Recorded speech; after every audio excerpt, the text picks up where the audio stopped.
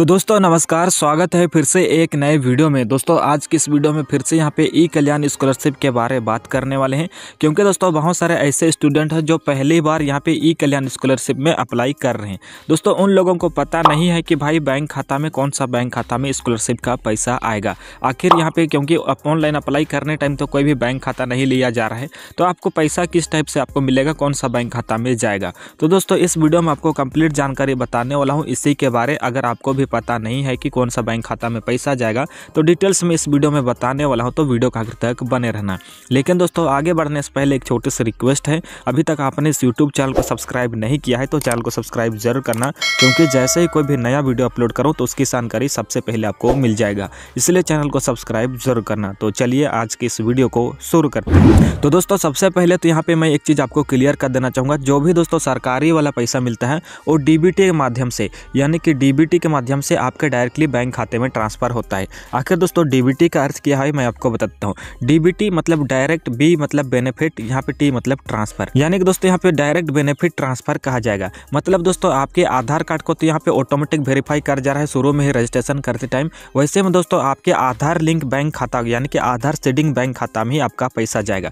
यानी कि दोस्तों, आपके आधार कार्ड के साथ जो भी बैंक खाता लिंक है, वही में यहाँ पे पैसा जाने वाला है। दोस्तों, अब यहाँ पे बहुत सारे लोग कमेंट करने लगेंगे कि भाई आधार कार्ड से तो पैसा निकलता है तो मेरा लिंक है। तो दोस्तों, ये डीबीटी अलग होता है और आधार कार्ड से जो पैसा निकलता है, वो अलग होता है। तो चलिए समझाता हूँ कि इसमें आपको चेक कैसे करना है कि आपका लिंक है या तो नहीं। क्योंकि दोस्तों, बहुत सारे ऐसे स्टूडेंट हैं, जब दोस्तों पैसा मिलना लगता है तो उनका डीबीटी यानी कि बैंक खाता आधार सीडिंग नहीं रहता है। तो सबसे पहले चेक कर लेना आपको कैसे लिंक कराना है, उसके बारे में भी बताऊँगा। तो सबसे पहले चेक करने के लिए आपको अपने मोबाइल के क्रोम ब्राउज़र ओपन कर लेना है। उसके बाद यहाँ पे दोस्तों सर्च वाला ऑप्शन पे आपको क्लिक कर देना है। इस पर लिख देना है my Aadhaar dot U dot in इस वेबसाइट पे आ जाना है, आधार कार्ड की ऑफिशियल वेबसाइट है, यहीं से आप अपना आधार सेडिंग बैंक खाता को चेक कर सकते हो, कौन सा बैंक खाता लिंक है।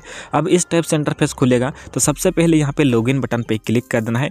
लॉगिन बटन पे जैसे ही क्लिक करोगे, अगला पेज यहाँ पे खुल के आ जाएगा। इस टाइप से आने के बाद यहाँ पे देख तो सबसे पहले यहाँ पे अपना आधार नंबर को डाल देना है। उसके बाद यहाँ पर जो भी कैप्चर कोड दिख रहा है, उसी को यहाँ पे डालना है। फिर सेंड यानी कि लॉगिन विथ ओ बटन पे क्लिक करना। तो आपके आधार कार्ड जो भी यहाँ पे डालोगे, उस पर रजिस्टर मोबाइल नंबर पे ओ जाएगा तो ओटीपी को डालने का ऑप्शन आएगा अब दोस्तों यहाँ पे देख सकते हो मैं सब कुछ भर दिया लॉगिन विथ ओ बटन पे क्लिक कर देता हूँ यहाँ पर देख तो ओ जनरेटेड बोल रहा है ओ सेंड हो गया आपके Aadhaar card register mobile number पे तो ओ आएगा तो उस ओटीपी को यहाँ पे डाल देना है जैसे ओटीपी भी आ गया उस ओटीपी को यहाँ पे भर देना है अब दोस्तों यहाँ पे देख तो ओ भर दिया फिर लॉगिन बटन पे क्लिक कर देता हूँ लॉगिन बटन पे जैसे ही क्लिक करोगे तो आप आधार कार्ड की ऑफिशियल पोर्टल पे लॉगिन हो जाओगे इस टाइप से इंटरफेस खुल जाएगा जैसे यहाँ पे देख तो यहाँ पर दोस्तों आधार कार्ड की ऑफिशियल पोर्टल है अब दोस्तों, आपका आधार सीडिंग बैंक खाता चेक करने के लिए यहाँ पे एक ऑप्शन आ जाता है, देख हो, बैंक सीडिंग स्टेटस।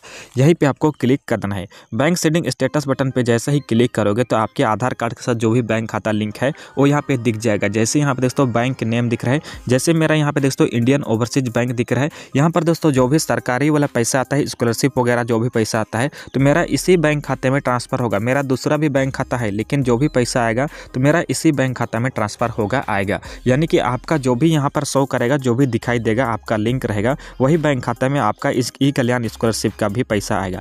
और दोस्तों, यहाँ पे आपका एक्टिव रहना चाहिए। जैसे बहुत सारे स्टूडेंट हैं, जिनके यहाँ पे नाम तो दिखा रहा है तो यहाँ पे एक्टिव नहीं दिखा रहा है तो भी आपको पैसा नहीं मिलेगा। तो दोस्तों, सबसे पहले यहाँ पर जो भी बैंक खाता दिख रहा है तो वहाँ पर जाके आपको बोलना है कि मेरा डीबीटी एक्टिव नहीं है, आधार सीडिंग नहीं है तो यहाँ पे एक्टिव कर दीजिए तो वहाँ पे एक्टिव कर दिया जाएगा। और दोस्तों, अगर आपका यहाँ पे कोई भी बैंक खाता लिंक नहीं दिखाता है, आपका बैंक का नाम नहीं दिखाता है तो दोस्तों, आपको कैसे लिंक करना है ऑलरेडी मैं इस टॉपिक में वीडियो बना दिया हूँ। तो उस वीडियो को देख के आप दोस्तों लिंक करा सकते हो। उस वीडियो का लिंक इस वीडियो का आखिरी में एक वीडियो दिख रहा है। तो इस वीडियो को क्लिक करके आप देख सकते हो, या तो वीडियो का डिस्क्रिप्शन में दिया गया है कि उस वीडियो को कैसे लिंक करना है डीबीटी कैसे लिंक करना है, उसके बारे कंप्लीट प्रोसेस आपको बताया हूँ।